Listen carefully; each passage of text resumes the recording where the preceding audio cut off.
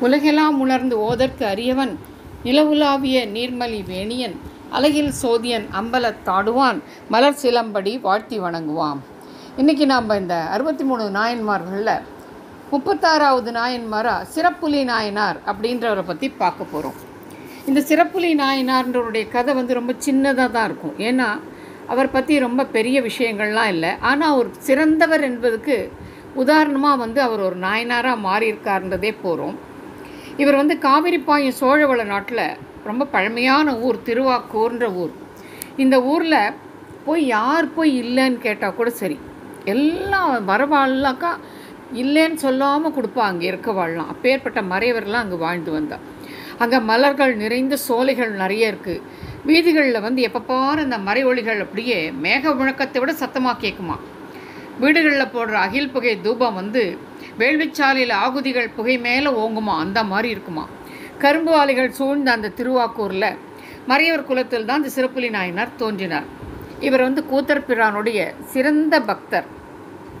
இவர் இவருடைய ஒரே வேலை என்னன்னாக்க சிவனடியார்கள்லாம் வரும்போது அவளை அடிப்பணிந்து அவளை சேவிச்சு அவளை நல்ல இனிய சொற்களால் வரவழைச்சி வரும்போதே அவர்களை வந்து நல்ல உணவு சாப்பாடு எல்லாம் கொடுப்பார். அப்படி இனிய சொற்களாக பேசுவார். அவர்களுக்கு என்ன வேண்டும் அப்படின்னு தெரிஞ்சுட்டு அதை கேட்டு மகிழ்வோடு அளிப்பார். எப்பவும் ஐந்தெழுத்த முறையாக ஓதி முத்தி வளர்த்து வேள்விகளை செய்து சிவபெருமானை வணங்குவார். சிவனடியார்கள்கிட்ட இவர் இடையாரத அன்பல் அன்பு கொண்டிருந்ததால் சிவன் வந்து தம் பணியை இறைவன் திருவடி நிலை அடையும் போது ஒரு நாயன்மாராக சிவன் வந்து இவரை ஏற்றுக்கிறார் இந்த திருவாக்கூரில் நடந்த ஒரு நல்ல ஒரு சம்பவத்தை நம்ம இப்போ நினைவு கூறலாம்.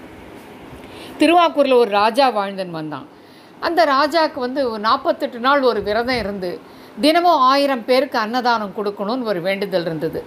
அதுபடி என்ன பண்ணுவார்னா தினமும் ஆயிரம் பேருக்கு அன்னதானம் கொடுக்கறதுக்காக அங்கே வந்து ஆயிரம் இலை சமையலெல்லாம் பண்ணி முடிச்சுட்டு ஆயிரம் இலை போட்டு வைப்பான் சரியாக ஆயிரம் பேரை உள்ளே விடுவான் இப்படியே நாற்பத்தேழு நாளும் முடிஞ்செடுத்து. நாற்பத்தெட்டு நாளாகவும் வந்தது.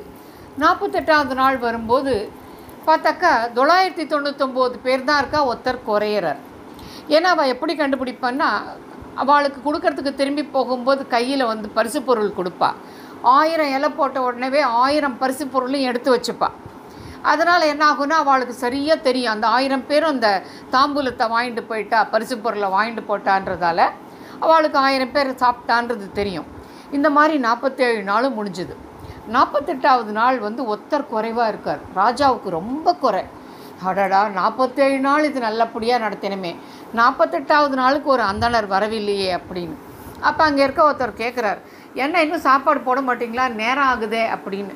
இல்லைங்க ஐயா தொண்ணூ தொள்ளாயிரத்தி தொண்ணூத்தொம்போது பேர் வந்துட்டாங்க. இன்னும் ஒருத்தர் வரணும் அப்படின்றாங்க.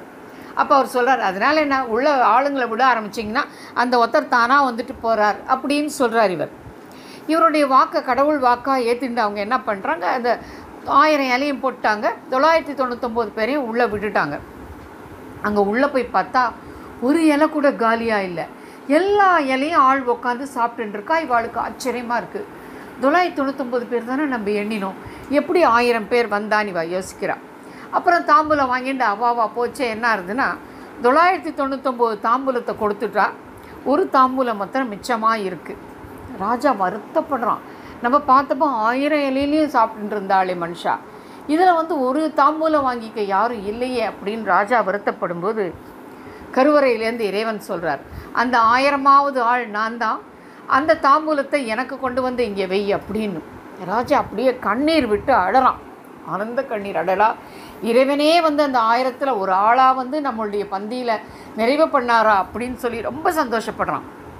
உடனே அந்த தாம்பூல பையும் பரிசு பொருளையும் கொண்டு போய் இறைவன் சந்நிதியில் வச்சு வேண்டி சேவிக்கிறான். அப்போ என்ன ஆகுதுனாக்கா இந்த ஆயிரமாவது ஆள் வந்ததால் அந்த இறைவனுக்கு அந்த ஊர் இறைவனுக்கு ஆயிரத்தில் ஒருவன் ஒரு பேர் உண்டு. அவர் வந்து தானே தோன்றினவர் அங்கே. அதனால் அவருக்கு வந்து தான் தோணியார் அப்படின்னு ஒரு பேர் உண்டு. என்ன ஒரு ஆச்சரியம்னாக்கா அன்னதானத்துடைய விசேஷத்தை இதில் தெரிஞ்சுக்கலாம். இந்த சிறுப்புலை நாயனாரும் வேறு எதுவுமே பண்ணல. சிவனடியார்களுக்கு வந்து தொண்டு பண்ணார் அன்னதானம் பண்ணார் அவ்வளோதான் சிவனடியார்களுக்கு வேலை செய்கிறது வந்து எவ்வளோ ஒரு நல்ல விஷயம் அப்படின்னு நம்ம இதுலேருந்து தெரிஞ்சுக்கலாம். சர்வம் கிருஷ்ணார்ப்பணம். இவரை பற்றி கூறும்போது சுந்தரர் சீர்கொண்ட புகழ்வள்ளல் சிறப்புலிக்கு மடியேன் அப்படின்னு வணங்குறார்.